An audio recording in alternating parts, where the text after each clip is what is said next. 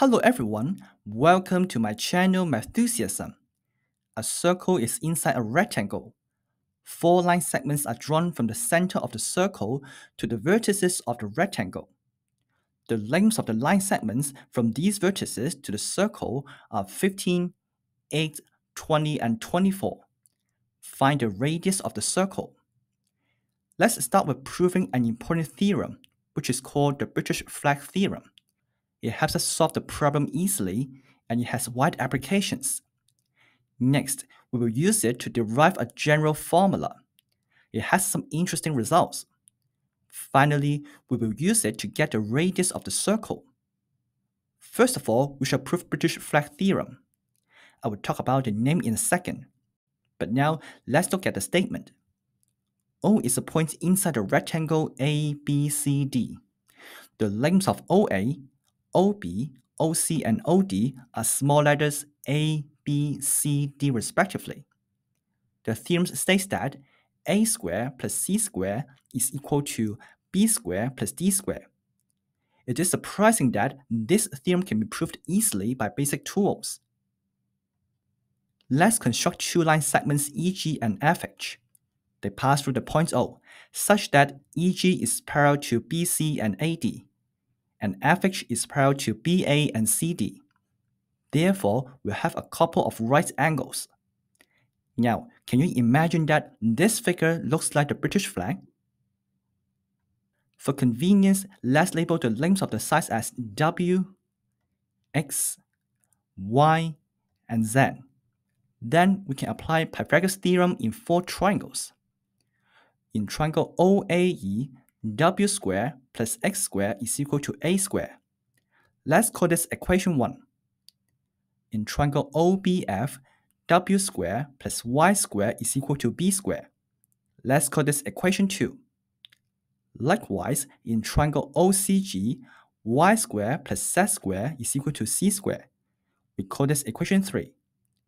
Lastly, in triangle ODH, x squared plus z squared is equal to d squared.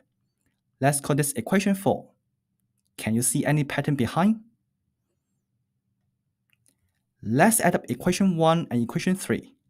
Then we'll have w squared plus x squared plus y squared plus z squared is equal to a squared plus c squared. We call this equation 5. We do the same for equation 2 and equation 4. Therefore, w squared plus x squared plus y squared plus z squared is equal to b squared plus d squared. Let's call this equation 6. Comparing these two equations, the left-hand side are the same. So the right-hand side should be equal. That is, a squared plus c squared is equal to b squared plus d squared. This completes the proof of the theorem. Now, we go back to our original problem. We use the letters a prime, B prime, C prime, and D prime to denote the points of intersection of the line segments and the circle. Let the length of line segment outside the circle be A prime, B prime, C prime, and D prime. The radius of a circle is R. Using the same notation of A, B, C, and D, we have A is equal to A prime plus R, B is equal to B prime plus R, C is equal to C prime plus R, and D is equal to D prime plus R. Now, we can apply British flag theorem, putting all this into the equation like this. So the rest of the job is just algebra. We expand all the perfect square terms. To simplify the equation, we can cancel out 2r squared on both sides. Then we have much less terms to handle. Let's put all the terms with r together the four square terms are put on the other side. You see, there's a common factor 2r on the right hand side. Let's take it out. Then to find the radius of the circle, we divide 2 and this bracket to the left hand side. However, it should be non-zero, otherwise it is undefined. Now we get the general formula. r is equal to a prime square plus c prime square minus b prime square minus d prime square all over 2 times bracket b prime plus d prime minus a prime minus c prime. Great! But does this formula always make sense? Both numerator and denominator involve subtractions, so they may be positive or negative. For a real circle with positive value of r, then either both of them are positive or both of them are negative.